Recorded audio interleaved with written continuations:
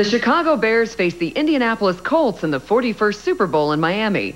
In keeping with tradition, the mayors of the respective cities have placed a friendly wager on the game.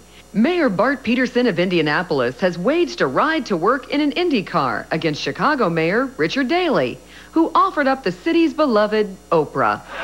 Big profits for big oil. ExxonMobil made $39.5 billion in 2006, the largest annual profit in U.S. history. And the company's lucrative profit sharing plan has everyone from corporate officers to gas station managers seeing green. As an Exxon station manager, I sincerely apologize to you all for gas price going up. Things will get better one day, but probably not soon. Let's go, beaches. Oscar nominated actor Ryan O'Neal was arrested on Saturday for assaulting his son in a brawl that involved a gun. Police say at least one shot was fired during this dispute at O'Neal's Malibu home. The 65 year old actor claims he acted in self defense. O'Neal's son commented on the incident. Every now and then, I used to act crazy. That's just how I am. Okay, so what? A Bahamian judge ordered Nicole Smith's baby daughter, Dannielynn, to be swabbed this morning for DNA. When testing is complete, we will finally know whether Dannielynn's father is Howard K. Stern, Howard Regular Stern, Larry Birkhead, Larry Bird, deceased billionaire J. Howard Marshall, Million Dollar Man Ted DiBiase, Ravishing Rick Rude, Junkyard Dog, the San Francisco 49ers, the Maytag Repairman, Dennis Kucinich, Tickle Me Elmo, Ralph Malph, Burgess Meredith, the Purple Wiggle, a box of Cheerios, the President of Brazil, a Bundt cake, Regis Philbin, or Rosie O'Donnell. Britney Spears' rehab is finished, and now so too is her rocky marriage to husband Kevin Federline. The popular tabloid couple finalized their divorce earlier today. Details are under wraps, but a source close to the couple reports that Federline is due to receive joint custody of their two sons, an undisclosed monthly stipend totaling hmm. $1 million, and a jacuzzi filled with jello shots.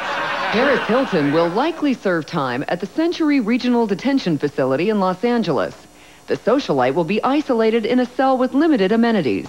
Her daily conditions will include a hard boiled egg for breakfast, a bologna sandwich for lunch, and one hour out of her cell to use the payphone.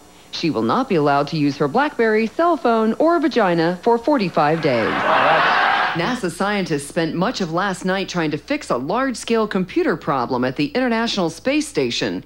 In a last ditch effort to get tech support, NASA launched the entire country of India into space. This is Father Michael Pfleger, a Chicago priest known for his activism against violence. Thanks to him, you can see this billboard throughout Chicago's South Side. It says, Stop listening to trash, and lists the artist Father Michael finds the most offensive Fat Joe, Lil Wayne, Nelly, 50 Cent, Twista, Snoop Dogg, Ludacris, and Kenny Rogers, whom the father doesn't find offensive, he just doesn't like. Scores of screaming fans were on hand today as the stars of the Harry Potter films had their hands, feet, and magic wands immortalized in cement outside Grauman's Chinese Theater. Everything was going smoothly until their wands accidentally awakened the evil cement monster. And now they are dead. 27,000 Toys R Us crayon and paint sets have been recalled because they contain lead. Tests revealed traces of the toxin in the Chinese made boxes and in the paints themselves. Consumers are urged to take the sets back to the retailer for store credit. Yesterday, Family Court Commissioner Scott Gordon released a list of orders in the bitter child custody battle between Britney Spears and Kevin Federline. Among the court's orders are Ms. Spears must submit to random biweekly drug and alcohol testing. Both Spears and Federline are restrained from using corporal punishment with their children and must put them to sleep in bed, not the clothes dryer.